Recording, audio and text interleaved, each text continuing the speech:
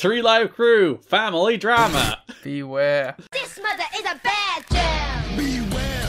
The James Gang on the first Impact of the month defeat Buck Quartermain and Kenny King. I, you know what's funny? Mm-hmm. I saw Kenny King on these shows, and I'm like, you know what? He is kind of just ready to be a guy on these shows. Yeah, he's athletic. He has a little bit of presence to him. Got a little look about him. Yeah, he's he's he's he, like you see Buck, you see Lex, you see David Young, and you're like you're job guys for life. You do see Kenny King, and you're like more there. There's more there. Yeah, it, it, it, he has a better look about him. He's younger. Like there's something like you look at Kenny King, you're like, hmm, okay. I'm surprised they didn't like try and pick him up. Because he's only around just doing jobs, not for very long. But he- he's been here for a while now. He's he was because he did some stuff earlier on too. Uh, Jackhammer and one and only by Kip for on King for the win. Konnan appears on the screen with Homicide and challenges the James Gang to a pay per view match at against all odds. Uh, No Apolo. Apolo's status is in question. Apolo and Homicide are wrestling the James Gang on the pay per view, but from there it's undecided. Apolo doesn't even get there. The feeling is that they have to make a statement about guys missing pay per view shows. Obviously, the feeling is that it's more than just a transportation problem out of his control because nobody would be mad at him over that. Oh well, they were pretty mad at Aries and Strong. Well, they made a choice, but also yes. I know. I'm just I'm just trying to defend. uh, but in Apolo's case, they do seem to think that he he happens to magically have transportation issues every time he's on pay per view, in which he might be losing. Apolo, big star. Yeah, it is. We talked about this with Shocker, but it is one of those things where like he's a star in Puerto Rico, but then comes to America and is a job guy. So it must be feel really weird to like have that relationship where you're like, I'm a star in my home country, but then I'm trying to make it somewhere else, and I'm just doing jobs on undercards and six minute matches. But also, I'm shit in those matches, so I can't really complain. It's a weird one, but I guess you know, ego is ego. You're a star. You're a star. Which does mean have, did we do the Apolo? uh, oh, we did. We I think we did run down the Apolo stuff last time, didn't we? I, I did, and it was horrible. So I'm not doing it again. Uh, yeah, then you ended up on his Wikipedia page and it was unfortunate. Is there any So, other yeah. stuff that builds this pay per view match? Um, isn't there like? uh, Oh, LAX have a squash No. on the February 4th. yeah, there's a impact. squash. I was gonna say. So Konnan, Homicide, and Apolo. With Apolo. which- This is, I think, Apolo's actual last match. Defeat Frankie Capone, Rod Steele, and Bruce Steele. of course, Apolo is now dressed in like edgy shorts, but he has the same bright red boots. I kind of love it when people are like, "I'm a bad guy now. I'm gonna wear shorts, but I will still w- wear my wrestling Yeah, boots." it's, uh, uh, he- the, the boots don't even match the shorts. It would be one thing if the shorts were red, so they would at least match, but the shorts were a different color. Uh, that makes it better. Uh, Frankie Capone is Francisco uh, Chiazzo, who passed away recently as well. Uh, worked a bunch of GCW as well, so um, popping up here here is one of those things. It's like, oh, oh. Uh, the I, I like the way I phrase this as if Konnan did the move, but the Doomsday Bulldog gives Konnan the win. It's Homicide and Apolo who did the Doomsday Bulldog, as opposed to the uh, Konnan having any involvement in that. It's important to note here that um, Konnan isn't even trying to wear any semblance of gear. Konnan can't move at this He is point. just like in clothes. like that. That man cannot move at this point. He should not be wrestling.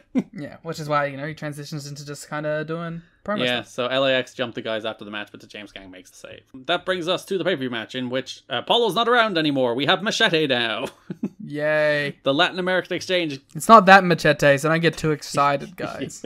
It's uh, what's his name? It's down here somewhere. Um, Ricky Vega, who was backstage at the tapings and has asked to fill in in the spot. So it's a Homicide and Machete facing uh, the James Gang in a nothing pay per view match where BG pins Machete with a pump handle slam. At least homicide didn't get pinned. Yeah. Konnan is really hurting as both uh, as he needs both shoulder surgery and hip replacement surgery. He needs the hip replacement for a couple of years, but has been putting it off. But it's gotten really bad as he has trouble walking. Just get your hip replaced, dude.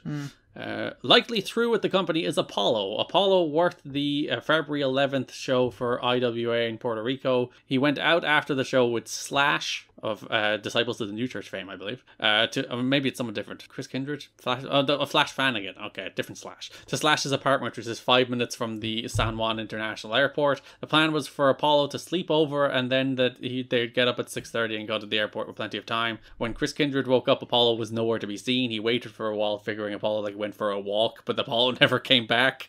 Uh, Kindred assumed he had already taken a cab. He never showed up to the plane. Like last month, he called ahead and said his flight was cancelled. However, unlike last month when he claimed similar problems, this time TNA checked and his flight was not cancelled. He even told people in Puerto Rico that there was a bomb scare at the airport, but there was no such thing as that was also easy to check.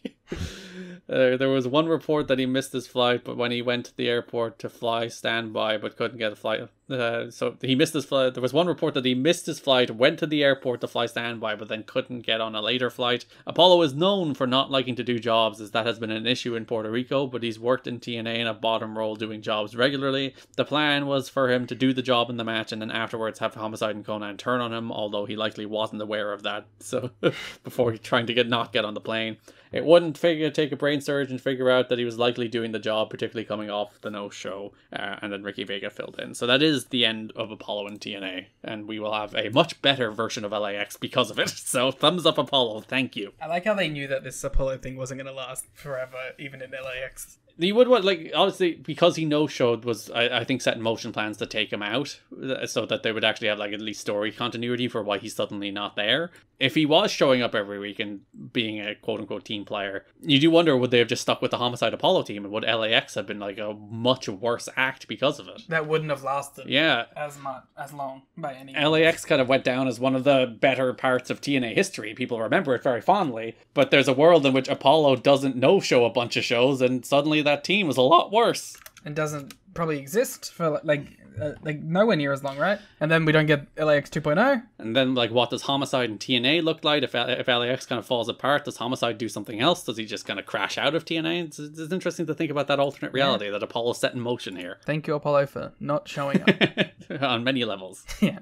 That is Against All Odds 2006. The pay per view was pretty good. Like, there's some good matches in the pay per view. Uh, the month of TV was pretty boring. It's like it's it was boring, but not like bad, which has kind of been where I've been at for most of these TVs. Yeah, it's like perfectly functional. It gets where it needs to go, but you don't sit and watch 40 minutes and you're like pumped. You're not like, oh, what a great episode of television. You're like, No. that is like mechanically good at getting where you need to go without being particularly exciting. yeah. I'm do hoping that we reach a point where that will be the case.